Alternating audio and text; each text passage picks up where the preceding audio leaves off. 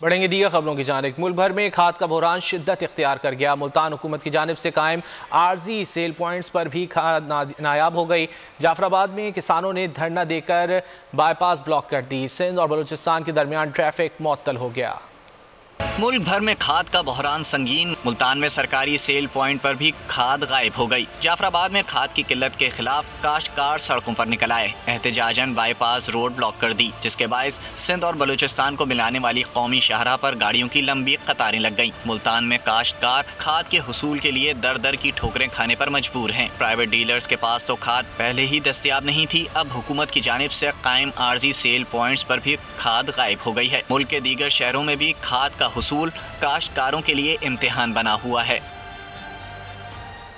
मुल्क भर में खाद का बुरान शिद्दत इख्तियार कर गया है, जबकि मुश्किल का सामना करना पड़ रहा है। उधर जाफराबाद में किसानों ने धरना देकर बाईपास को भी ब्लॉक कर दिया है, जबकि सिंध और बलूचिस्तान के दरमियान ट्रैफ़िक मअतल हो गई है। काफ़ी दिनों से मुल्क भर में खाद का बुरहान चल रहा है और अब ये शिद्दत इख्तियार करता जा रहा है। आपको बताएँ कि मुल्क भर में खाद का बहरान शिद्दत इख्तियार कर गया है। मुल्तान हुकूमत की जानब से कायम आर्जी सेल पॉइंट पर भी खाद नायाब हो गई है। इसी हवाले से बात कर लेते हैं चेयरमैन किसान इतिहाद राव, तारिक अशफाक से। तारिक अशफाक साहब, बहुत शुक्रिया आपके वक्त का। तारिक अशफाक साहब, आप क्या समझते हैं इस तमाम तर बहरान की ज़िम्मेदारी किस पर आयद होती है? देखिए जी, सीधी सी बात है, हुकूमत वक्त पर होती है।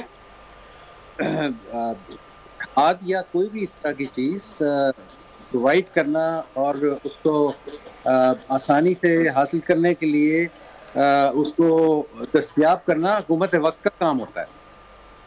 अच्छा तारिक अशफाक साहब हुकूमत हुकूमत वक्त का काम तो है तो आपकी इस हवाले से बात हुई है हुकूमत से या उनके इंतजामी अहदेदारों से कि ये वजह क्या बनी और जब बहरान ये शुरू हो रहा था तो उस वक्त आपने इस हवाले से हाईलाइट किया था इस तमाम तर चीज़ों को?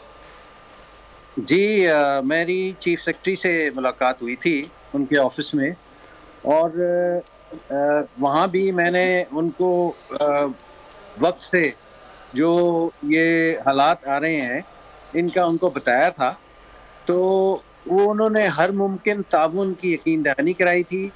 किसान इतिहाद के मुख्तलिफ़ शहरों में देहातों में तहसीलों में जो भी आ, आ, हमारे अहलकार हैं वो हुकूमत का हाथ इस सिलसिले में बनने की कोशिश कर रहे हैं तो वहाँ पर इस खाद माफिया और हुकूमत के नुमाइंदों के साथ मिलकर इनको स्ट्रीमलाइन करने की कोशिश कर रहे हैं।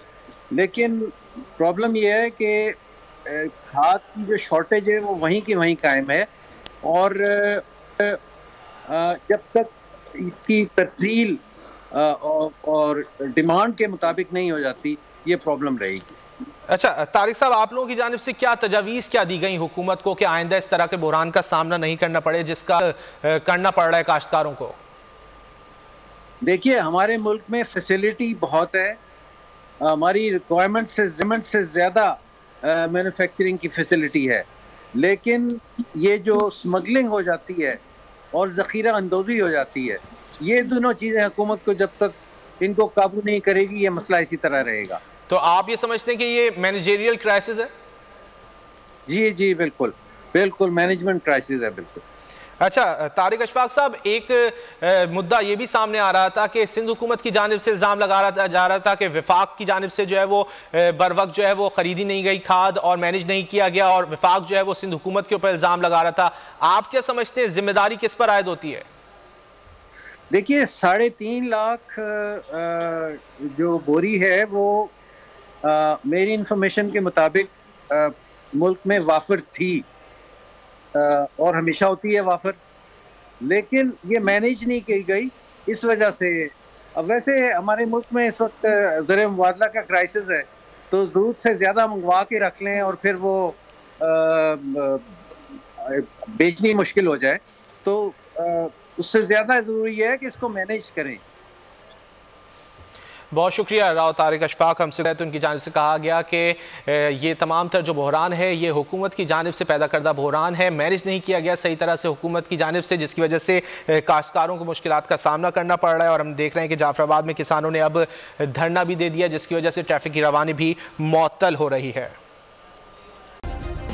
सब्सक्राइब करें और बेल दबाएँ, ताकि कोई खबर रह न जाए।